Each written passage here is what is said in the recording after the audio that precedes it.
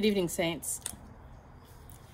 As we approach the period that ends on Election Day, and as we vote across the country for our leadership, both national and congressional, I'm inviting you to do a few things. It may seem in these days that there isn't a lot that we can do, but we people of faith know that there is some power in working collectively.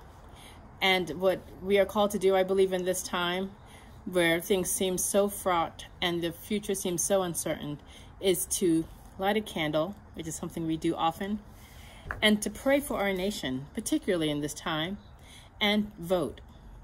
The candle I lit will be burning through the period from now until voting ends on November 3rd. And I hope that you'll light a candle in solidarity as we bring some light into the world. The other thing I'd like to invite you to do is to join me in putting these signs up.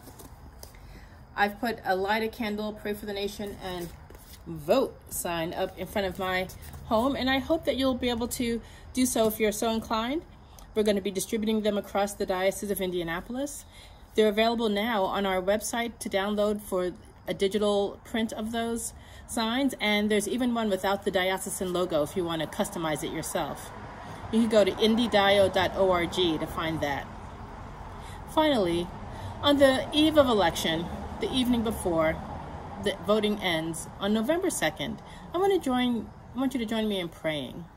At 7:30, we'll begin a vigil of prayer and we hope that you will choose an, a period of time, a half hour, an hour to hold our country in prayer as we conclude voting on November 3rd. So tune in to the Indy Virtual Abbey on Facebook where we will live stream the launching of that prayer vigil at 7.30 Eastern Time on November 2nd.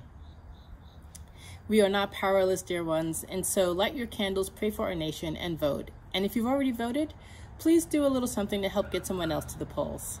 Blessings.